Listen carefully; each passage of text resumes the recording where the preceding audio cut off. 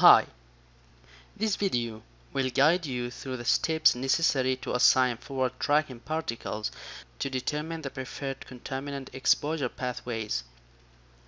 So start from particles and now we zoom in using F5 and this is the area. Now we go to add and from here add line and from this point to this point okay it is forward and the number of particles is 5 now we zoom out